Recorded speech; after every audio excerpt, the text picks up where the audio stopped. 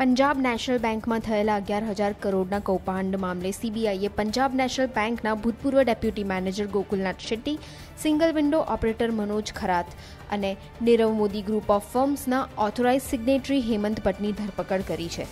આ ત્રણેયને આજે મુંબઈની સ્પેશિયલ સીબીઆઈ કોર્ટમાં રજૂ કરવામાં આવશે.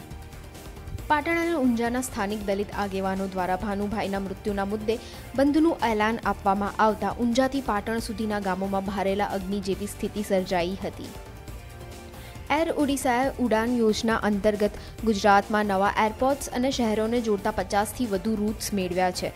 પ્રથમ તબક્કામાં અમદાવાદથી ભાવનગર, જામનગર, દીવ અને મુન્દ્રા સુધીની ફ્લાઇટ સર્વિસનો પ્રારંભ કરાયો છે. કેન્દ્રીય મંત્રી મેનકા ગાંધીએ તેમના ઓફિસરો પર કરપ્શનનો આરોપ લાગતા તેમની ઝાટકણી કરી છે. મેનકા ગાંધીએ રેશનની દુકાન પર થતા ઘોટાળા સાંભળીને ભડકી ગયા હતા અને પછી જવાબદાર અધિકારીઓને ખરું ખોટું સંભળાવ્યું હતું. પીએનબીના અગિયાર હજાર કરોડ રૂપિયાથી વધારેના ઘોટાળાની તપાસ વચ્ચે કાનપુરમાં પાંચસો કરોડ રૂપિયાથી વધુનો એક બેંકનો ઘોટાળો સામે આવ્યો છે. પ્રોટોમેક કંપનીના માલિક પાંચ સરકારી બેંકો પાસેથી પાંચસો કરોડ રૂપિયા લઈને ગાયબ થઈ ગયા છે.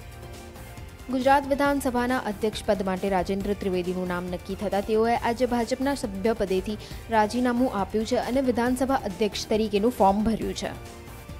રાજ્યની પંચોતેર પાલિકાઓમાં આજે ચૂંટણીઓ તેમજ પેટા ચૂંટણીમાં મતદાન થઈ રહ્યું છે. વિવિધ નગરપાલિકાઓના કુલ પાંચસો ઓગણત્રીસ વોર્ડની બે હજાર ચોસઠ બેઠકો પર છ હજાર તેત્રીસ ઉમેદવારો આ ચૂંટણી લડી રહ્યા છે.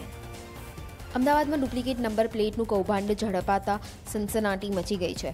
રાઇડર્સ પાસે યોગ્ય પેપર ન હોવાથી છેલ્લા પંદર દિવસમાં છ હજાર જેટલી બાઇક જપ્ત કરવામાં આવી હતી.